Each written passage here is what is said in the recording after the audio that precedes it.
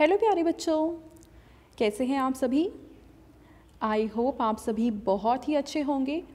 बच्चों, इस वीडियो में हम डिस्कस करेंगे S C E R T के द्वारा शुरू किए गए रीडिंग कैंपेन के तहत मैथ्स की वर्कशीट नंबर 16 जो कि 4 फरवरी 2022 की वर्कशीट है और ये वर्कशीट है क्लास 5 के लिए।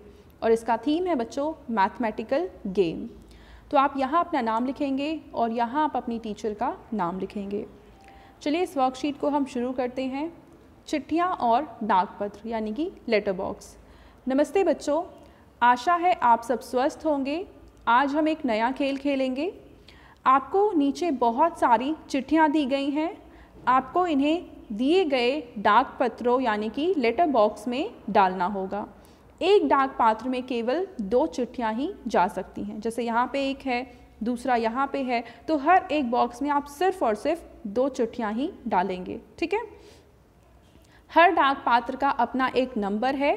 उस डाक पात्र में वही चिट्ठियाँ जा सकती हैं जिन्हें जोड़ने पर उस डाक पात्र पर नंबर जो लिखा है वो आपको मिल जाएगा। जैसे मान लो, आपने दो चिट्ठी ली, एक पर है नंबर 400 और दूसरे पे है चार सौ पचानवे और इन दोनों को अगर हम जोड़ते हैं तो नंबर बन जाएगा आठ सौ पचानवे और आठ सौ पचानवे इस लेटर बॉक्स पे नंबर है तो यानी ये दोनों चिट्ठियाँ हम इसमें डालेंगे, ठीक है?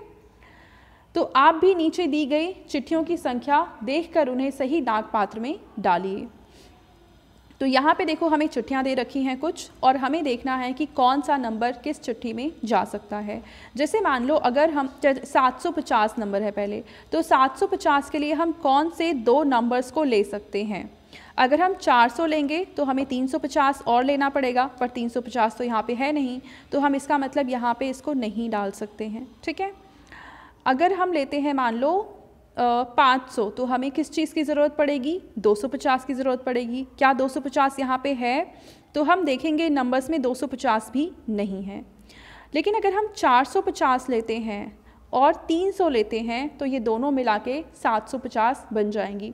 तो यानी बी वाले जो लेटर बॉक्स है, उसमें पहली चिट्ठी तो जाएगी चार सौ पचास वाली और दूसरी चिट्ठी जाएगी तीन सौ वाली, ठीक है? और ये दोनों ही अंक आप यहाँ पे लिख सकते हैं। यहाँ पे लिखेंगे आप 450 और यहाँ पे आप लिख देंगे नीचे 300 ठीक है? और इस तरीके से आपको पता चल जाएगा कि कौन सी चिट्ठी यहाँ पे आनी चाहिए। अब 550 के लिए क्या हमारे पास 25 संख्या है कोई? तो आप यहाँ देखेंगे, एक संख्या है जो कि हमें दे रखी है 325 तो आप पहली चिट्ठी तो 325 ले लेंगे। इसके अलावा जो दूसरी चिट्ठी है, आप वो ले लेंगे 200 वाली, क्योंकि इन दोनों को जोड़ने पे आपको नंबर मिल जाएगा 525 तो ये दोनों चिट्ठियाँ जाएँगी किसमें लेटर बॉक्स सी में। अब अगर हम डी की बात करें तो यहाँ पे नंबर है 700 तो एक तो हम डाल देंगे 400 और दूसरी हम डाल सकते हैं 300 तो ये दोनों चिट्ठियाँ किसमें जाएँगी? लेटर बॉक्स डी में। अब ई e की बात करें तो यहाँ पे 930 है। यानी हमें एक ऐसी संख्या लेनी है जिसमें कोई नंबर 130 या 230 ऐसा कोई नंबर दे रखा हो। तो देखो, यहाँ पे है 230 ये है 230 और इसके अलावा 700 तो ये दोनों लेटर्स मिलके चले जाएँगे लेटर बॉक्स ई में। अगर हम F की बात करें तो यहाँ पे नंबर है 320 तो एक हम डाल देंगे 120 वाला और दूसरा हम डाल देंगे 200 वाला। और ये दोनों लेटर्स मिलके चले जाएँगे लेटर बॉक्स एफ़ में ठीक है? अब अगर हम जी की बात करें तो यहाँ पे नंबर है 660 तो एक हम डाल देंगे 160 और दूसरा हम डाल देंगे आ, कहीं आपको 500 नज़र आ रहा है ये रहा। तो ये दोनों चिट्ठियाँ मिलकर चली जाएँगी लेटर बॉक्स जी में।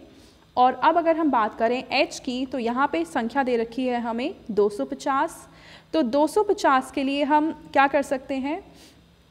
आ, कहीं पे अगर आपको 150 ऐसा कुछ नंबर लिख रहा दिख रहा है तो हम वो डाल सकते हैं या फिर हम ये भी कर सकते हैं कि हम 130 और 120 इन दोनों ही लेटर्स को यहाँ पे हम डाल सकते हैं।